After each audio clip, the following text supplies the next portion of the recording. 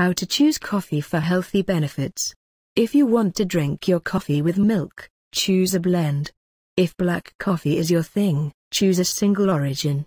With a blended coffee, most of the time, specific single origins have been chosen to use in that blend that create a complex and balanced espresso while still having a milk-based beverage in mind. The coffees have been carefully selected to provide increased body, some delicious brown sugaring flavors, or to simply add some floral complexity in order to help balance the espresso. For more awesome information on this check out this article, Blends, more than the sum of their parts.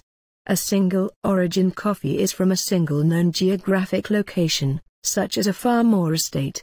This allows the coffee drinker to appreciate the specific nuance that a particular growing region provides. So if you are a black coffee drinker you will be more likely to perceive and enjoy this subtlety of flavor easier without milk masking it. Having said all that, can a single origin work well in milk? Absolutely. Can a blend work as a black? You're darn tootin'. It all depends what single origins are being used. Let's read on. Growing conditions and economic factors vary greatly across the planet and so it's no surprise that coffee grown in one country will be different from the next. Wine drinkers have a long-held appreciation for this phenomena, having come to expect to see specific flavor and aroma characteristics from a French wine that may be clearly distinctive from an Italian or something grown in Australia. Coffee prefers to grow in the warmer latitudes between the Tropic of Cancer and Tropic of Capricorn.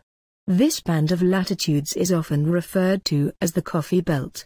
Within this band a vast array of variables exist including altitude, rainfall, soil conditions and sunlight, all of which will alter the outcome of how your coffee will taste. So how do I narrow this huge offering down to what I might like best? If you're seeking fruit-driven flavors and floral aromas, starting with African coffees is a great option. Many coffee drinkers swoon at the thought of excitedly opening up a bag of Ethiopian beans to deeply inhale the complex berry and wine-like aromas or salivate at the thought of slurping on a juicy stone fruit-influenced coffee from Kenya. South and Central American coffee might be your thing if you are looking for clean coffees exhibiting delicate sugar browning sweetness, like chocolate or buttery pastry, accompanied with a softer fruit character. As most of the world's coffee production hails from this area, it's highly likely that you will find a winner here. Brazil is well known for producing coffees with a heavier body and peanut character. While further north in Colombia these flavors are mellowed and typically present more so as caramels and toffees. Sounds delicious. Do I even need to look elsewhere? Perhaps if you prefer a coffee to be heavier bodied and earthy, selecting from the India and Indonesian region is for you. Often exhibiting a luscious and syrupy body combined with herbal and savory flavors. These tend to be the most dividing in personal preference and definitely sit in the love or hate bracket. Varietals Since coffee is a fruit, apples are always one of the best examples to give as to why varietal plays a part in terms of preference. Most people like apples, is there anyone who doesn't? That's a safe bet. But preferences are wildly different when selecting the varietal of apple. A Fuji, Golden Delicious, Pink Lady, or my favorite the jazz, will often result in a strong difference of opinion as to which is best. The answer is jazz. Common coffee varietals are bourbon, Typica and Caturra.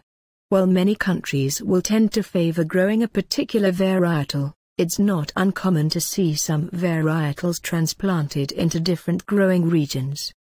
The geisha varietal is one of the most sought after on the planet. Its saturated sweetness, Clarity and vibrant flavors can range anywhere from dark berries to mangoes or even peaches.